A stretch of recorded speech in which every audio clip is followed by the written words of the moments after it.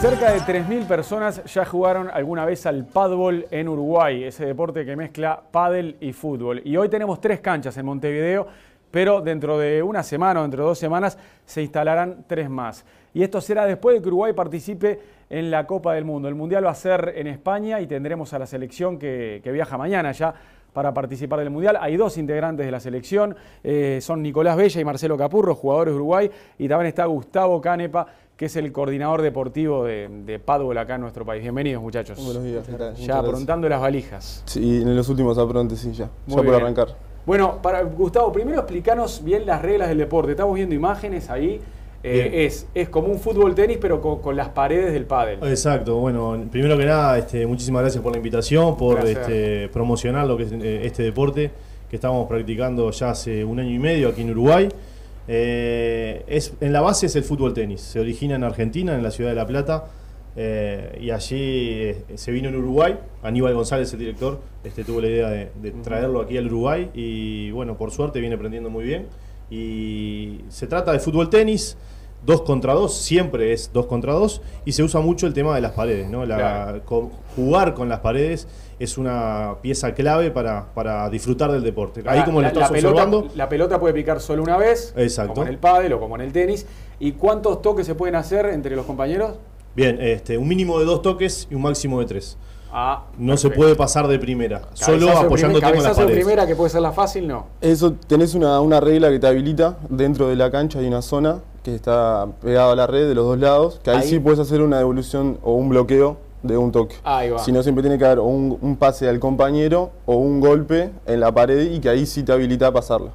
Bien, perfecto. ¿Y qué peso tiene la pelota? Porque hoy charlábamos con unos compañeros que hay un golpe que es eh, clásico del pádel, que es muy particular, que es el de eh, darle contra la pared para que vaya a la cancha del rival. Pero acá le tenés que pegar fuerte. ¿La, la pelota es liviana o no? La pelota es liviana, sí. Le podés dar ahí un guadañazo y que meta pared y cancha. Claro, pero vos si golpeás tu pared y del otro lado golpea antes la pared de golpear o en un rival Ah, en el mala, suelo, es mala. es mala. Entonces tenés que medir eso y también y, que pega- la- y pe- y pegarle de espaldas a, a la cancha. Claro, y sí. que no te agarre mal parado y te corten esa pelota en la Sí, red sí, que te hacen un bloqueo ahí. Es el último recurso. es. Eh, sí, mejor armar un ataque con el compañero y ya atacarle no al, al rival. Bien, para ustedes que hoy son de la selección, ¿qué pasado futbolístico tienen? Este, yo arranqué inferiores en Nacional, Sí. estuve en Progreso, Uruguay Montevideo, me fui para, para Indonesia al Persimarros, Ah, mirá. de ahí me fui al Vitesse a Holanda, vine para acá, estuve en Miramar Misiones, Sí. eh, luego estuve en La Regina en Italia, volví a Progreso y después estuve jugando en Guinde en China y después arranqué ya con, con la selección de fútbol playa. ¿Ya te retiraste del fútbol? No, hasta hace poco estuve jugando en, ¿En China hasta cuándo? en China, fue el 2008. Después vine, estuve jugando en el fútbol del interior. Sí, ah, fútbol del interior. Jugué pila afuera. Este, San José, Paysandú, este, Colonia, anduve, anduve recorriendo un poco. En los equipos del interior y ahora estás en la selección de, de paddle, pero no... no Y de no- fútbol playa. Y este año estuve playa, los primeros claro. seis meses en Cerrito y ahora estuve practicando en Rampla, pero está por X motivos, este, Sí. se complicó, tema económico. Claro, claro, aparte estuviste en la selección de fútbol playa también. Este, estamos los dos en Ah, en vos la también estás en de el fútbol fútbol playa. Ah, Y, de ahí nos conocimos y de ahí empezamos a jugar junto al Pado. y esa no la abandonaron, siguen en la de fútbol No, playa. esa también. seguimos Sí, sí, jugando. sí. ¿Y por qué se enroscaron con este deporte? En realidad, este, nosotros entramos de- del paddle cuando estábamos este, jugando los Sur con la selección de fútbol playa, estábamos en Ecuador, este, y no podíamos arrancar el campeonato que era clasificatorio para, para el Mundial de Argentina. Se lesiona una dupla, habiendo jugadores, se lesiona uno, me invitan a mí. Jugamos, ganamos, se lesiona mi, mi pareja, y ahí lo invito a Nico, que de un principio la idea era jugar juntos. Este, y bueno, está, el destino quiso que siguiéramos jugando, bueno, salimos campeones del, del torneo ese, y fuimos juntos a tres, a tres parejas este, a- al Mundial allá en Argentina. Claro, para, para el futbolista profesional o que estuvo ahí cerca del profesionalismo es mucho más sencillo esto. sí. Te ayuda Es- porque tenés, entrenaste toda la vida en las prácticas. a sí. nosotros nos ayudó más, más que, el, que el fútbol de cancha, el, tema del fútbol playa y el fútbol playa. porque es mucho, mucho dominio de pelota. Mucho sin dejarla picar. Mucha técnica. Sí, Eh, claro. Requiere de la técnica y, y ta, que eso es lo que generalmente entrenas más en, la, en la fútbol playa y en el fútbol, como te decía él. Claro. Mariano, ellos llegan a la selección mediante un ranking ATP, como quien dice, como Ah, comparado a lo que es el tenis. Eh, jugaron varios torneos a lo largo del año y fueron los que se rankearon mejor.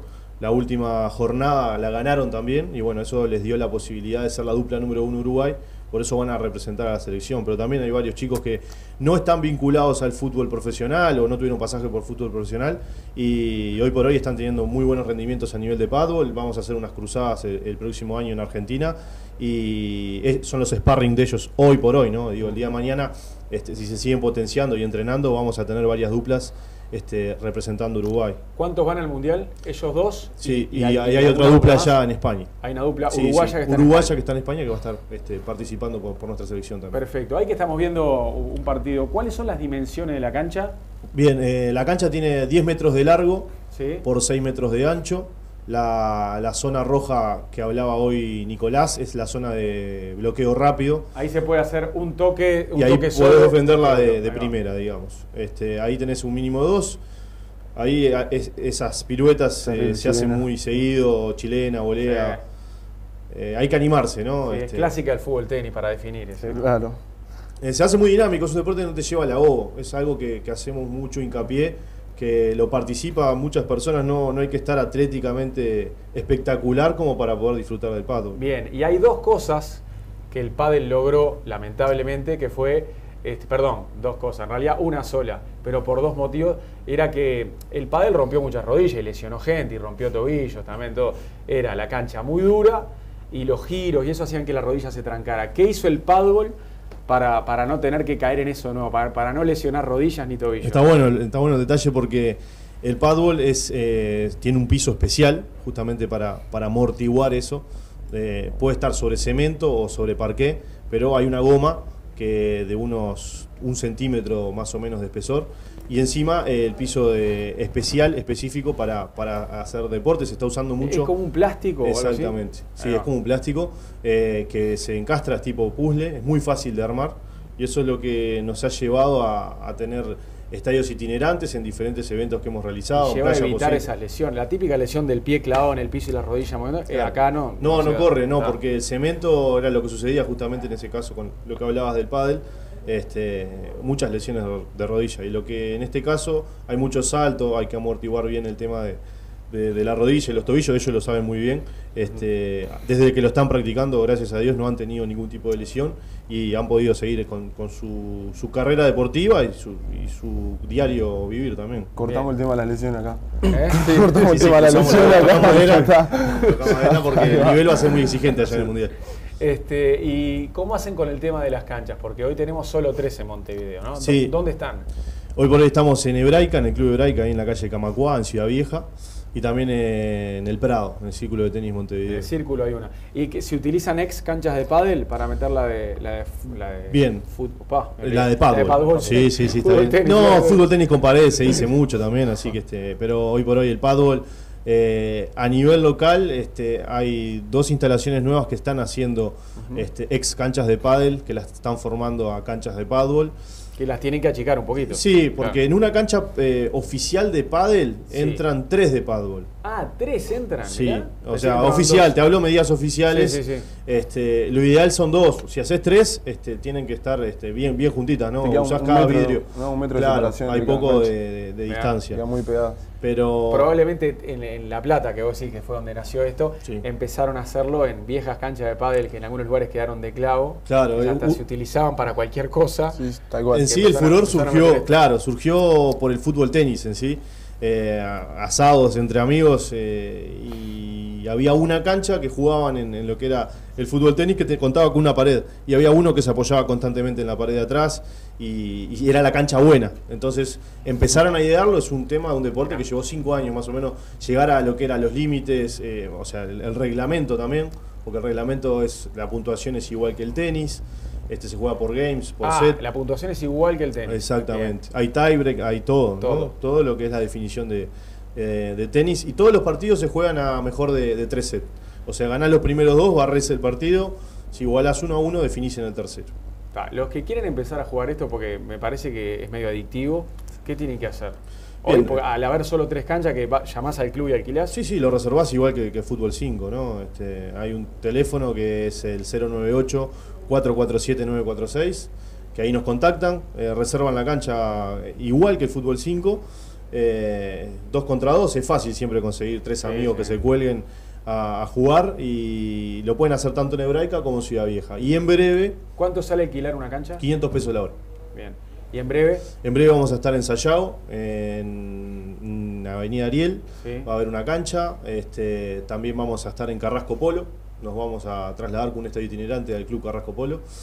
Y también este, en Solimar. Por ahora estamos en Montevideo y Canelones. También tenemos la idea de, potenciarlo en el interior del país. Primero nos vamos a firmar bien lo que es el concepto aquí en Montevideo y, y después este, trabajar mucho en lo que es el interior del país. Ya hubieron contactos. Rocha va a ser una de las sedes importantes. Ya te anuncio que el próximo Mundial de Paddle va a ser en Uruguay. Voy a ir. Ah, pensé que me decías que iba. Sí, con gusto, con gusto. Te anuncio que va. Tenés que jugar los torneos Liga previos Mundial. y quedar ahí rankeado y, sí, ya está, pará, te ganas si el lugar. jugando lo mío flojo, lo voy a cubrir como periodista. Ah, bueno, también. Esa está sí, linda, esa está sí. buena también. Está Está buena. bueno. Este, también eh, trabajamos mucho con lo que son las redes sociales, nos movemos mucho por ahí también este, a nivel de Facebook y Twitter. Eh, estamos trabajando BIN también, que es una de las opciones para, para filmar y donde vamos a colgar todo y postear lo que hagan los muchachos. Esperemos este, Esperemos que sí. que tengan el mejor éxito. Vos, para- aparte con la celeste, todo, ¿no? Sí, claro. Ya, está, ya, ya vieron la camiseta, ya, Sí, la- sí, ya, ya está. Precioso. Estuvimos sí con los modelos. Sí, Definiendo. está linda. Está buena, sí. Eh, ¿Quiénes son los rivales más peligrosos? Primero, ¿quiénes son los rivales? ¿Qué países van? Y después le voy a preguntar cuáles son los mejores. Pero Eso lo tiene claro Gustavo. Bien, países. bueno, las selecciones que van a participar, hay 13 países que se está jugando el, 13. el paddle hoy por hoy. Sí. Eh, España, que presenta cuatro duplas. es el dueño de casa. Exacto. Eh, Argentina, Italia, Inglaterra, Portugal. Si va a También Brasil- Portugal. Si va a Brasil, pasa a ser candidato natural. Va a Brasil, va a Brasil. Sí, también. estamos esperando no lo quise mencionar porque este, los españoles, que son los dueños de casa, no, no los tienen como favoritos a los brasileños. Pero cuando arranquen a jugarlo, Eh, los no portugueses, a mí a los portugueses vienen muy callados y, tienen un, un ex jugador que jugó Mundial 2012, eh, 2012, perdón, eh, 2002 eh, con la selección de Portugal. Y, y bueno, para mí este, puede ser una muy buena dupla la selección de Portugal. Va a México también, mirá. Suecia, Noruega. eh, y está, están todos. Está, y los favoritos son los españoles, los mexicanos, puede ser los portugueses, decías vos. Sí, eh, Argentina tiene, tiene buenos jugadores, es el, de- el país de origen de este deporte, imagínate que lo practican ya de 2008. Y bueno, Nicolás Bella y Marcelo Capurro, este, para la prensa española son los favoritos. ¿En serio? Sí, van como favoritos. Bien, ¿y con quién les toca? ¿Ya está el, el sorteo? ¿Ya está el rival o no? No, no, el fixture todavía no, no está. Este, ¿Y es, por, es, es como los torneos de tenis que es por eliminación, que el que pierde se va o son grupos? Son grupos, van a ser este, cinco grupos de cuatro, eh, donde van a pasar las primeras tres duplas y, el, y va a haber este cuarto mejor también. Ahí van a, van, a, van a armar el grupo. Y este es el segundo mundial, ¿verdad? Segundo mundial, ¿Y el primero quién lo ganó? España. España. España. Está, Salió España primero, segundo, tercero, cuarto y quinto. La- la- las cinco Ah, duplas. a los cinco primeros. Sí. Ah.